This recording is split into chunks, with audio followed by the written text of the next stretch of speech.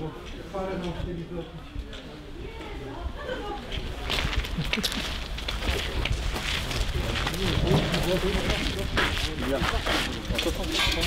Sala konferencyjna na 120 osób.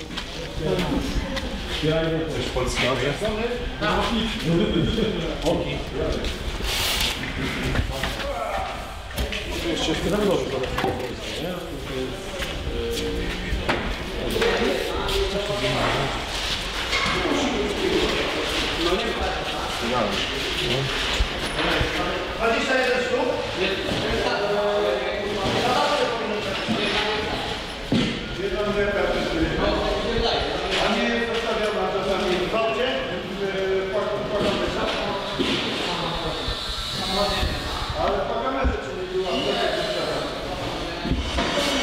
Bardzo dziękuję. E, Szanowni Państwo, gościmy dzisiaj w budującym się inkubatorze. Bardzo się cieszę, że prace już dobiegają e, końca. E, Jak Państwo wiecie, ten inkubator został sfinansowany z funduszy unijnych. E, Otrzymaliśmy dofinansowanie rzędu prawie 13 milionów złotych. To, co chciałbym podkreślić e, w tego typu przypadkach, są to pieniądze celowane, a więc takie, które można było tylko przeznaczyć na budowę e, tak, tego przedsięwzięcia. Jeśli byśmy tego nie wykorzystali, to pieniądze powędrowałyby to czy do Torunia, Włocławka, czy Bydgoszczy. E, Kolejna bardzo ważna e, rzecz. e, Całość tej inwestycji zamknie się kwotą około 29 milionów złotych. O tym myślę szczegółowo będzie mówił prezes Grodziąckiego Parku Przemysłowego. To, co też jest bardzo, myślę, istotne, to, że w tym inkubatorze docelowo znajdzie miejsce pracy około 200, 200 osób. Jest tutaj także przygotowana e, sala konferencyjna, są mniejsze sale konferencyjne na poszczególnych piętrach, co Państwo będziecie mogli zobaczyć. Jest też e, punkt gastronomiczny, a więc wszystko to, co jest niezbędne do obsługi biznesu.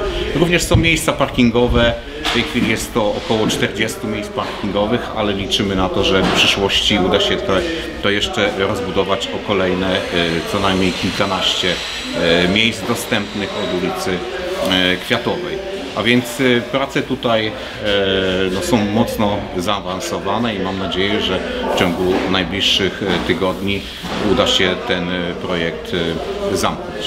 Znaczy, o przyczynach y, czy powodach przedłużającej się inwestycji już wielokrotnie była mowa i to były według mojej oceny przyczyny niezależne, niezależne ani od inwestora, od generalnego wykonawcy, stąd też było parokrotnie przeskładane, że tak powiem, termin ukończenia e, prac. Natomiast no, w, według e, procedura odbiorowa rozpoczęła się w zeszłym tygodniu. W tej chwili uzyskiwane są wszelkie pozwolenia. E, Pewno generalny wykonawca powie, e, na jakim etapie są te pozwolenia. Ja wiem, że jest już odbiór e, sanepidu, czekamy na strażaków. E, Później PIN będzie miał możliwość e, dokonania wizji lokalnej i odbioru tych prac. Liczę, że do 31 marca bieżącego roku, pod- podkreślę, e, będziemy mieli pozwolenie na użytkowanie tego obiektu. Natomiast prace wykończeniowe, jak widzi Pani, trwają i chyba, jak każdy z nas widzi, nie jesteśmy z tego w stanie w ciągu, czy my, generalny wykonawca, nie jest w stanie tego wykonać pewno do końca pierwszego kwartału. Na 36 biur mamy około 20, nie około 20 chyba trzech e, biur zajętych. Znaczy, ak, może akwizycja była dokonana, czyli jakby zabukowano. Nie mamy oczywiście podpisanych umów ze względu na to, że czekamy na datę pewną oddania tej inwestycji, kiedy będziemy mogli wprowadzić tu pierwszych najemców. E, Mogę podkreślić, że zgodnie z harmonogramem już teraz obowiązującym 15 kwietnia wjeżdża tutaj wyposażenie ruchome. E, To też y, y, wykonawca potrzebuje około dwóch tygodni na skompletowanie e, wszystkich urządzeń wyposażenia wewnętrznego, żeby wyposażyć ten budynek. To kiedy osoba zainteresowana wynajmie takiego biura. Myślę, myślę, że początek maja jest datą dobrą na pierwszych klientów, pierwszych najemców, pierwszych gości. A czy Państwo kalkulowali, ile będzie e, kosztowało utrzymanie tego budynku? Tak, kalkulowaliśmy. To jest wliczone w, w koszty najmu, które zostały określone na poziomie 46 zł za 1 metr kwadratowy. I to są wszystkie koszty, czy coś? Nie, no to oczywiście są koszty najmu. Dodatkowo jeszcze dochodzą koszty mediów, które są w zależności od poboru proporcjonalnie do zajmowanej powierzchni będą rozliczane e, z klientami. Tak jak Pierwotnie pojawiła się kwota około 70 zł. Skąd ta różnica jest?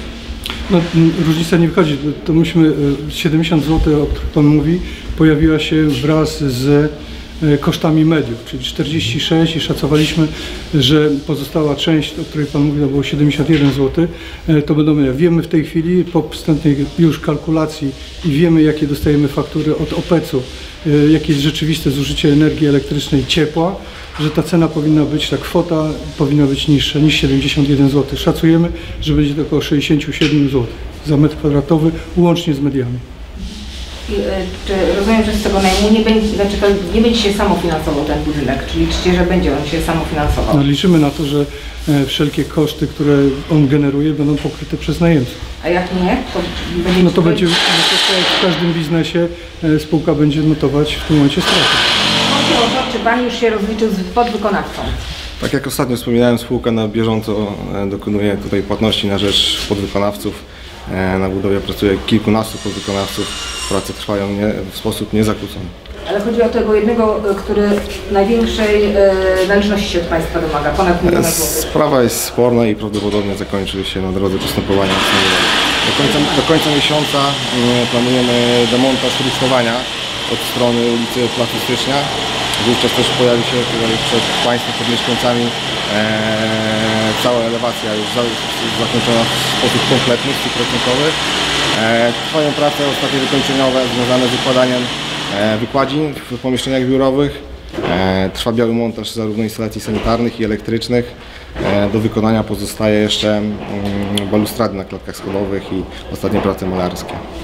Pan powiedział, że to tak jak od początku mówiliśmy, tych pieniędzy pozyskanych nie można było na nic innego spożytkować, bo one były dedykowane. Tak jest. E, Ale też e, jest opinie, czy w ogóle ten inkubator tu jest potrzebny, poza tym, że on oczywiście zmieni otoczenie tego terenu, ale czy on faktycznie, nie wiem, będzie się finansował, czy on spełni swoje zadanie.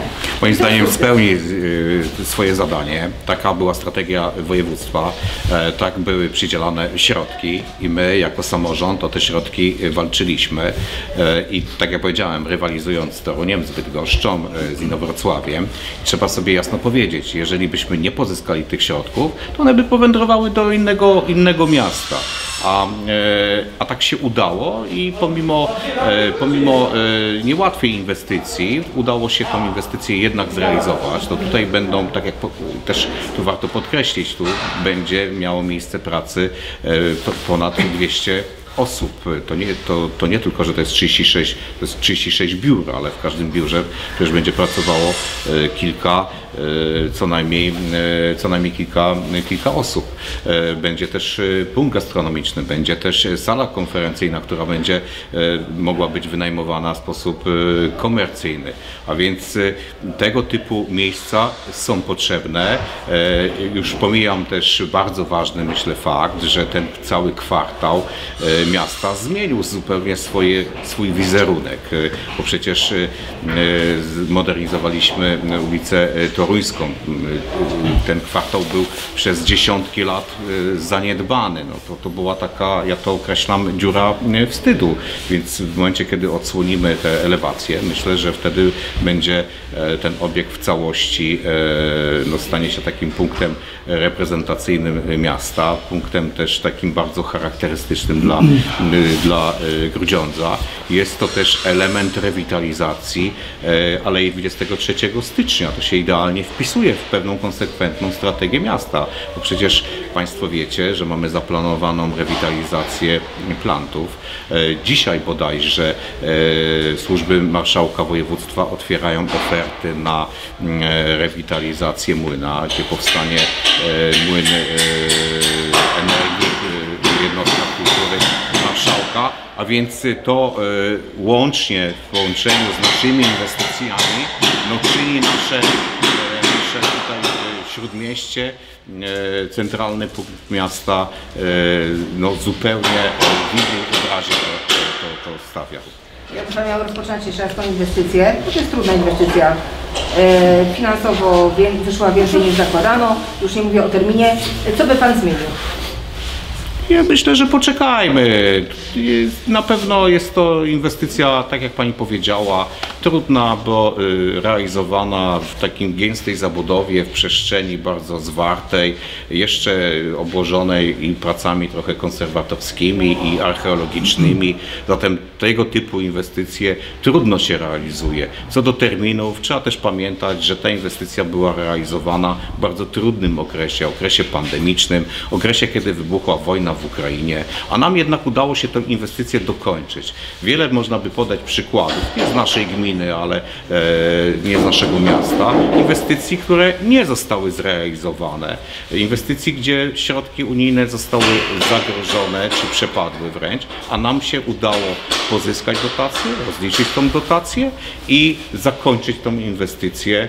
Y, Może lekko w opóźnieniu, ale mówię, była ona też prowadzona trudnych e, warunkach, e, no, nie, nie z naszego e, tutaj powodu i powodu też generalnego wykonawcy. Miasto pożyczyło GPP 10 milionów złotych, ale chciałbym podkreślić, że to jest 10 milionów w ramach tych 29 milionów. I co jest bardzo ważne, GPP zwróci te środki do miasta do końca roku, bo takie, takie jest, taka jest umowa pożyczki. Tak to zostało e, założone w budżecie e, miasta. E, GPP będzie starało się o pożyczkę w jednym z banków e, w momencie, kiedy zakończy ten projekt i znikną tak zwane ryzyka związane z realizacją tej e, inwestycji.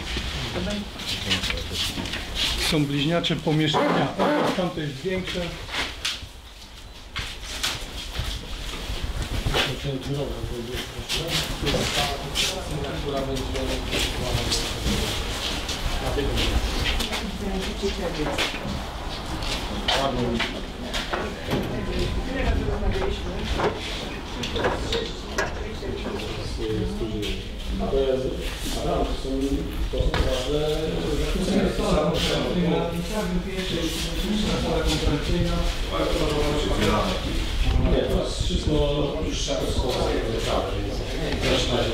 poziomie centralnym.